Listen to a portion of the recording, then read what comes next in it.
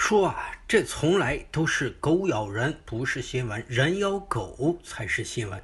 现如今呢，狗咬人成了新闻，也不知道是人变成了狗，还是狗变成了人。反正啊，咱不过于解读。朋友你好，欢迎回到碎片记忆频道。今天是二零二一年十一月二十三日。话说，就在今天晚上，河南安阳通报了对涉狗咬人事件责任单位和责任人的处理决定。通报指出呢，安阳市委、市政府责令安阳市城市管理局、市场监管局、市公安局文峰分局、文峰区中华路街道办事处四个单位作出深刻检查，并在全市通报批评。对相关人员的处理情况为。给予安阳市城市管理局党组成员、二级调研员张占芳诫勉谈话处理；给予南阳市城市管理局执法支队监管检查科副科长兼市城市管理局专项治理办公室副主任郭双军党内严重警告，记大过处分。并给予免职处理，给予安阳市市场管理综合行政执法支队负责人、二级高级主管蔡国强诫勉谈话处理，给予安阳市文峰区城市管理局执法中队副中队长冯海军记过处理。给予安阳市文峰区中华路街道办事处人大工委主任马艳峰政务警告处分；给予安阳市公安局文峰分局中华路派出所所长杨占山诫勉谈话处理；给予事件当事人安阳市市场监管综合行政执法支队正科级稽查专员王新刚党内严重警告、撤职处分，并调离执法岗位。据了解呢，十一月十九日，安阳市成立了狗伤老人事件工作组，看来事态挺严重。经核查，涉事的两只犬经过训练和芯片植入，中国工作犬协会为其颁发了犬注册登记证。该协会介绍呢，该证不能作为认证工作犬的充分依据。目前，安阳市城市管理局已对涉事犬只进行收容，并注销了涉事犬只的犬养登记证。同时呢，安阳正组织对全市烈性犬、大型犬进行全面排查整治，确保不再发生类似的问题。工作组核查发现，十月九日。在安阳市市场监管综合行政执法支队门前发生的冲突中，有人携带的伸缩棍贴有警用标志，但为非警用制式装备。有关部门已经对伸缩棍携带者作出警告处罚，并依法没收伸缩棍。关于网上反映的李小莹涉嫌诈骗百万问题，工作组已责成安阳市委政法委牵头，组织市政法单位和殷都区公安局检察院对该案件进行复核。话说啊，这九月二十日。中州阴地一贵宾养的两只贵宾犬被一女子牵着在小区遛弯时呢，惊吓咬伤了一位八旬的老人。老人家呢，始终也没敢让他们赔偿什么，只是想让涉事的狗主人给他们道个歉。可是，身为执法人员的狗主人王新刚是大包大揽护着遛狗的妻子，自己是全权处理此事。结果呢，不是将大事化小、小事化了，而是将小事化大、大事化的是天底下盛不下，硬生生的坚持了两个月，结果是气哭了女记者，停了职，道了歉，顺便还带出了案中案。那若问这位执法人员为什么这么牛呢？简单两个字：嚣张。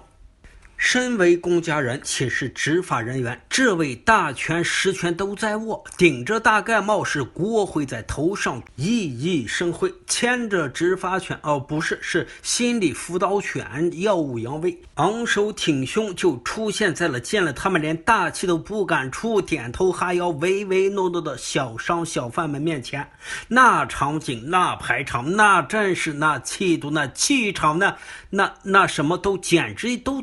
绝了都，嚣张吧，跋扈吧，不可一世吧。只可惜这一位大男人也不比那一位小女人强多少。有朋友会问了，哪位小女人啊？就是今年年中干翻了徽州宴的徽州宴老板娘啊，就是那个说自己的狗比别人家的孩子还值钱的徽州宴老板娘。今天这位呢，也未幸免于难。可以说是头发短，见识更短。事发两个月，媒体是持续做了十期节目之后呢，当事狗主人。河南省安阳市市场监管综合行政执法支队食品药品稽查专员王新刚十九日夜晚登门道歉，说前段时间我家的狗咬着你了，牵狗的是我爱人，过去你们也没有提过伤口和费用赔偿，有啥要求你说，诚恳的给你赔个不是。被狗咬的耿大娘的家人黄女士呢，二十日接受采访说，十九日道歉时，她说从来没有过赔偿，意思呢是说之前没有见过面。这个事情从发生到现在，我们没有跟对方提过一分钱的赔偿，包括我妈打疫苗的钱都是我们自己拿出来的。因为之前呢，她在其他媒体上也发了，说当时通知物业和社区的人，让我们双方在一起调解赔偿的问题。这。这个根本不存在，事情需要他澄清一下。话说，事发两个月前的九月二十日，七十八岁的耿大娘散步时，被同住在一个小区的王新刚喂养的两只黑色巨型贵宾犬扑上。有朋友可能不太了解，这贵宾犬分为四种，一种呢是大型贵宾犬，也叫巨贵。另一种呢是中型犬，还有一种是小型犬，再有一种是微型犬，也叫茶杯犬。视频显示呢，两条狗站立时甚至可搭到耿大娘的肩膀处。耿大娘的家人接受媒体采访时说呢，这两条狗就是这么围着她，一个八十岁的老太太就这样围着咬。身上的狗牙印、爪子扑的抓痕印都很清楚的。狗主人呢是在场的，他说那不是狗咬的，是老太太自己摔的。随后，河南当地媒体曾多次与耿丹阳家属前往公安城管部门，希望能够对这一事件进行协调解决。但是在节目中呢，安阳市城市管理执法局执法中队负责人说，本案来说，大型犬只是不给发证的，不属于适合饲养的犬只。记者就问了，这种情况下，咱们肯定是要有所作为的。安阳市城市管理执法局执法中队负责人说呢，大型犬只归公安部门管理，咱一个基层中队不管理这些。记者就问：“如果是非法养犬，大型犬只归谁管？”咱们现场说清楚。辖区民警说：“狗的管理办证应该属于城市管理部门。如果咬人，就是说狗的主人纵容指使，那么就构成了故意伤害。”记者就问：“你说这些东西归公安管，公安说归你们管。我们觉得这个事应该是公安城管联合执法。对于禁养犬只抓捕的行为，肯定属于城市管理执法局的。”随后呢，记者又联系到了安阳市城市管理执法局，希望查处禁养犬只，但王新刚及其家人始终都没有开门。城市管理执法局表示呢，拒不开门，只能要求队员加强巡查。此后，耿大娘的家属又前往王新刚的工作单位安阳市市场监管综合行政执法支队对其进行举报。安阳市市场监管综合行政执法支队工作人员说呢，你举报他什么事？耿大娘的家人就说了，因为他是公职人员，已经触犯了公职人员政务处分法里面违反社会公序良俗、严重违反家庭美德社会公德相关条例，我们可以要求党政机关对他有一个违纪的处分。在此过程中呢，从安阳市市场监管综合行政执法支队办公室内走出了一群人，与记者及耿大娘家人发生了冲突，其中呢有人携带警棍等器具。随后，这位王新刚声称住院，其单位、物业、城管、公安等各部门均未有进一步答复。媒体记者在镜头前落泪。两个月的发酵之后呢，才等来了王新刚登门道歉的场景。耿大娘的家人说：“我们要一个态度，要是道歉，一分钱的赔偿我们都不要，因为他已经道歉了，这个事到现在为止就已经画上句号了。原本一件不大的纠纷，却引起社会的维权和城市管理的大讨论。”一件小事面前，城市管理及矛盾纠纷化解机制为何就失调了呢？主人拒不承认层层执法部门失守，嚣张跋扈，官官相卫，何以至此啊？事情还没完，咱前面说的媒体记者对着镜头就哭了，这哭的是媒体记者小丽，她的哭也值了。不仅大狗咬老人的男主人王新刚道歉了，而且呢，女主人更是被牵出了巨大的宝藏。据悉，这乌鲁木齐的杜先生称，狗的女主人李小莹以帮忙办事为由，骗走了他的一百万元。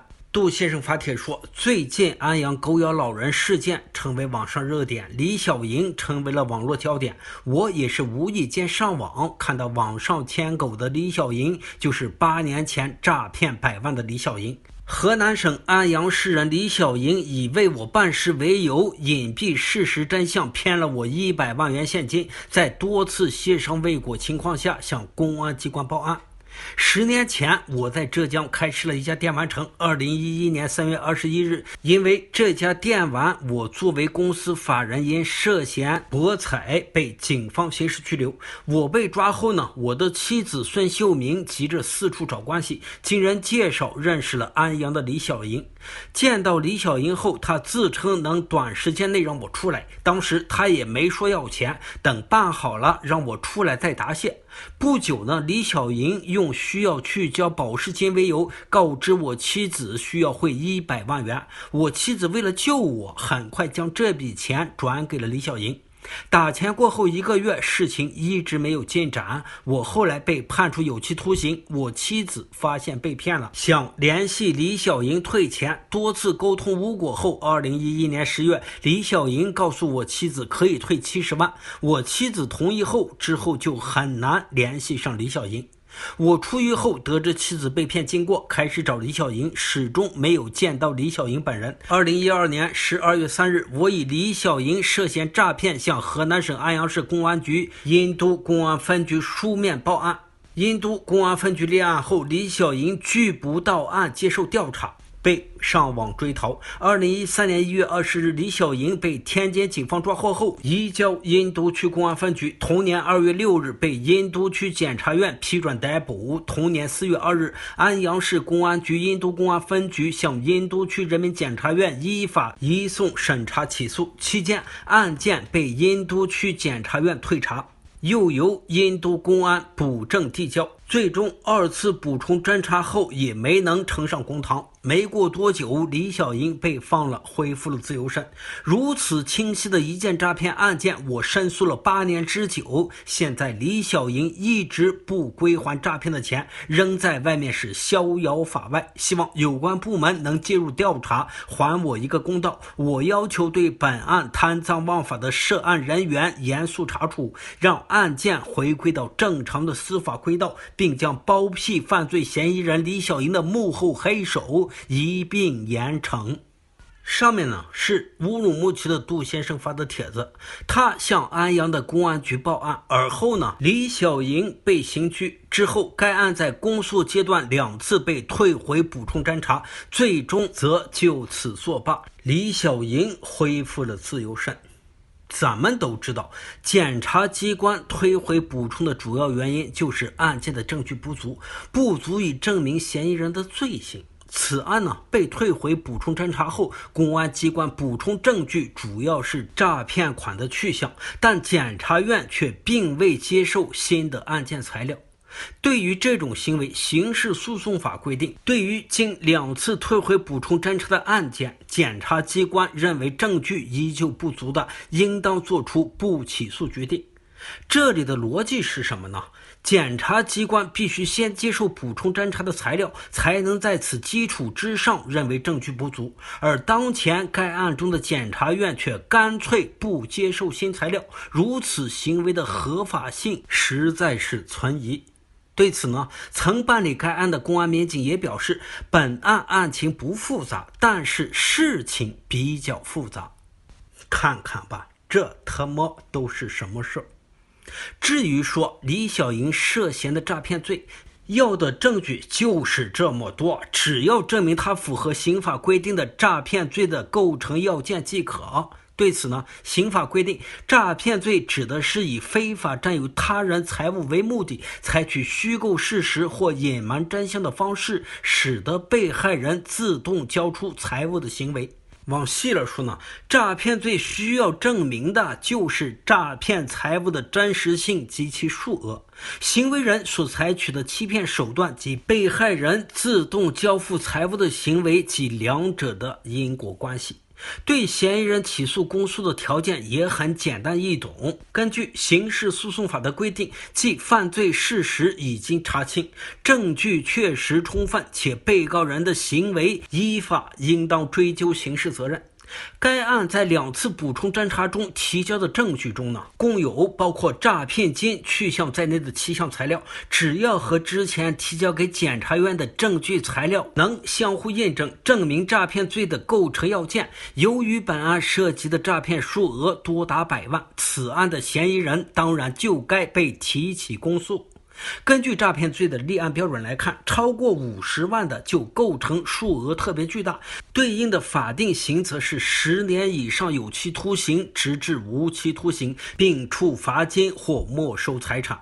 不过目前看来，该案目前公开的信息还是比较少。不过既然已经被公开了，那么就会有推进处理的可能。